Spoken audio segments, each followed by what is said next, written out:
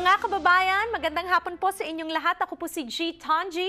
If you watched Binibining Pilipinas USA here on KSCI yesterday, you are all in for a very special treat as the winners and her court join us on today's program. Let's start off with our third and second runner-up.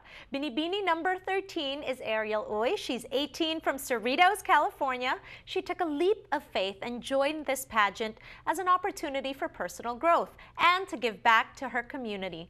For her, a good representative is exemplified in a young woman who is comfortable in her own skin, someone whose confidence may guide and inspire others. Kasama natin si Angelica Concepcion Alberto, binibining number 17 naman, who placed second runner-up in the recent Binibining Pilipinas USA. Angelica or Jelly is from uh, Stevenson Ranch in California. Her main reason for joining this pageant are to step out of her comfort zone as well, and she also wants to be a well-rounded role model for young women. So ladies, welcome to the show. How are you guys? Doing well, Great. thank you. Okay, so how has it been? This weekend was, I'm sure, very, very nerve-wracking and exciting. Uh, Eriel, talk to me about this experience. How's it been for you?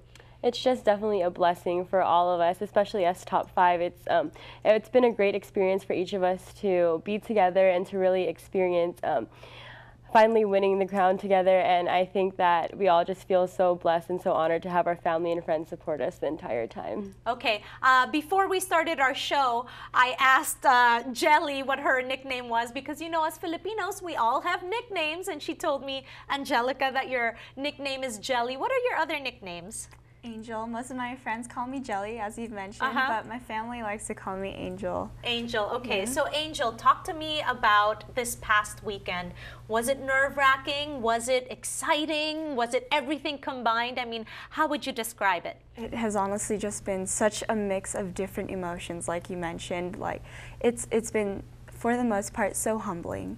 But the fact that we got to experience all of these different unbelievable you know, once in a lifetime opportunities together, I think that's a blessing overall. Right. And now that we have titles together, it's just amazing that we can finally just enjoy you know, the road together. Okay, well, as we know, the Filipinos love, love, love, love, love beauty pageants. Why do you think there's such a fascination for it, Eriel? Well, I think beauty pageants are more than obviously the outside beauty. Beauty pageants are definitely a lot of work because you have to work on both your inner confidence and how you can hold yourself up and present yourself to the world.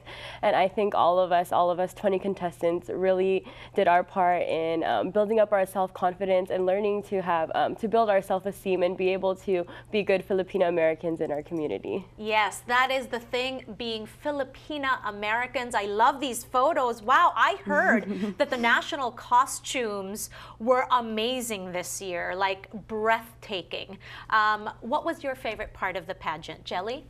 My favorite part of the pageant probably had to be our dance number for the swimsuit section just because every time all of us get together we just have such a fun time doing it and it was to Fun by Pitbull and I'm sure that was everybody's favorite yeah. portion too. what can we say? yeah. What about you, Eriel? What was your favorite part of the entire pageant?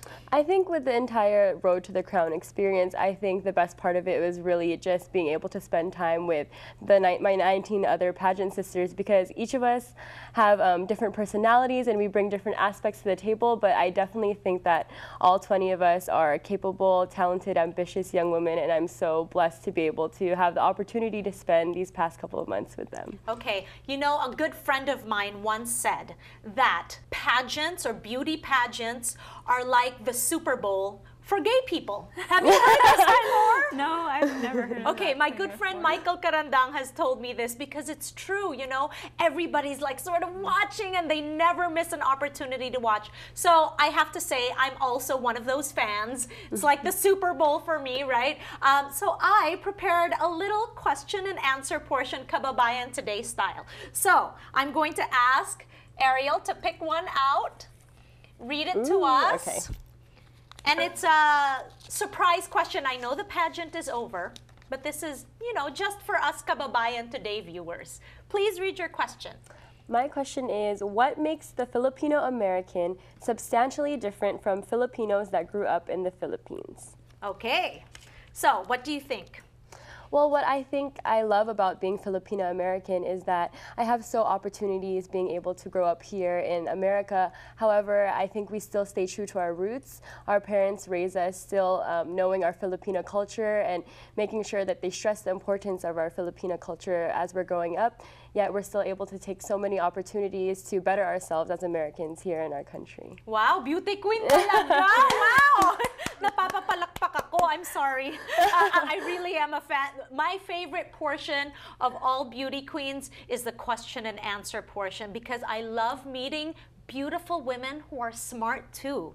Because sometimes when uh, a person is beautiful, they have to work harder at showing people that they actually have something between their, their their ears. Yes. You know, because they people think, ay, maganda lang yan. She she doesn't have anything between her ears. But to me, I feel that a woman is so much more substantial when she's smart and eloquent. And obviously, all of you have proven this. Okay, so we have.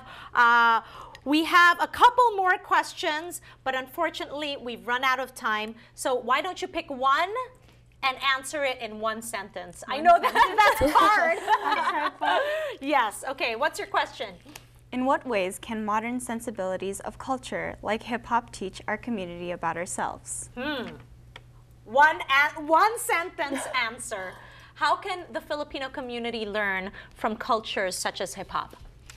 Our Filipino community can learn various, well, through hip hop, there's a tendency for artists to talk about their hardships Mm-hmm. and being in a Filipino community, we can sort of relate to these experiences and just think how it could be relevant and learn. Yes, learn from other people's Yes. hardships. All right. Palakpakan. Thank you so much, ladies, for answering my questions and being here. Congratulations once again sa aming pagbabalik. Get to meet Megan Lago Culp. We'll be right back. She's this year's Binibining Pilipinas USA Tourism.